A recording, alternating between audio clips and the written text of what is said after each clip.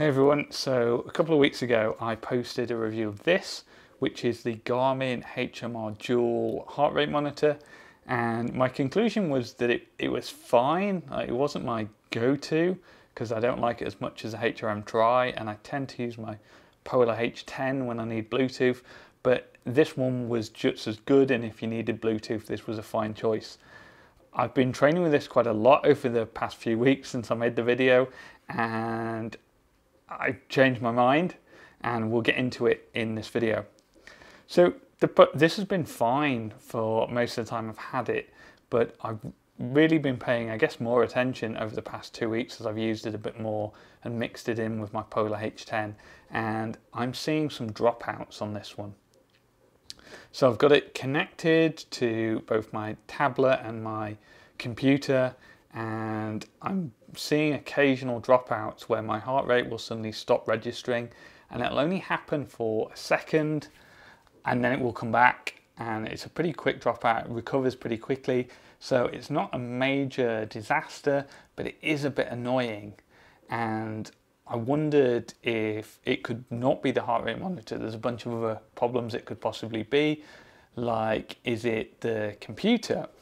But I've seen drop-offs on both Zwift, which I run on my Mac Mini that's connected to my TV, and on TrainerRoad, which I run from my tablet. So it's not device specific. And I went back and had a look at my workouts on my Polar H10 and I'm not getting the dropouts there. So it kind of does point a bad finger. Let's jump onto my computer and I'll show you the problems and we'll go from there.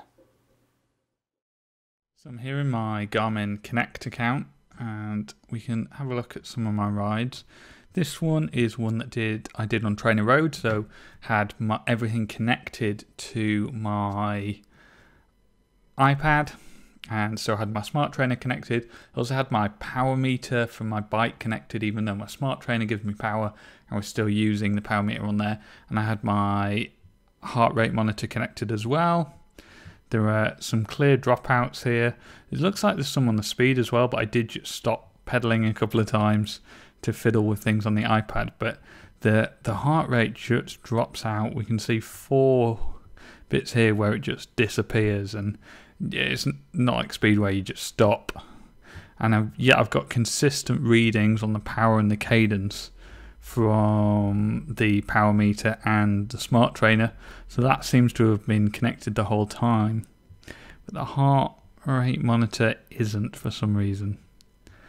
And then again on this one on Zwift, then so on Zwift I connect everything to my MacBook Mini, which sits under my TV. Don't use my power meter for that, just use the heart rate monitor, and my smart trainer does everything else and this data will all come from Zwift. But again, we've got this mysterious dropout here. Only one in an hour and a half, so not terrible, but still, I'm getting consistent readings from the smart trainer the whole time. And then if we so if we then compare that to some older rides, here's one I did on Zwift fairly recently using my Polar H10 and everything's perfect, the heart rate just there the whole time and there's no dropouts. And then again, if we go to this one, which is uh, TrainerRoad workout. So again, this is where I connect it to my iPad. And again, on my Polar H10, we've just got heart rate data the whole way. So there's nothing uh, awful here. Like there are some dropouts and it recovers straight away and seems to give an accurate reading. But it's just annoying that these dropouts happen and the heart rate disappears from the screen a bit when that isn't happening on my Polar H10. Now, maybe I've just been unlucky and there's more interference with the Bluetooth signal recently, which is just killing the heart rate data, and this would have happened on the Polar H10 anyway. But I it's something I've never noticed with the Polar H10 in the whole time I've been training and it, yeah, it, it's been consistently happening recently with the HRM Dual. So, what does that mean for the Garmin HRM Dual? I mean, it could just be unlucky and just a couple of workouts have hit a black spot, but everything else seems to be connecting fine. Like I'm not getting the problems on other things that are connecting via Bluetooth, like my smart trainer or my power meter on my bike, which I'm also pairing in addition to my smart trainer with TrainerRoad. So there's other Bluetooth signals going in and they're working fine, which kind of points to the heart rate, unfortunately.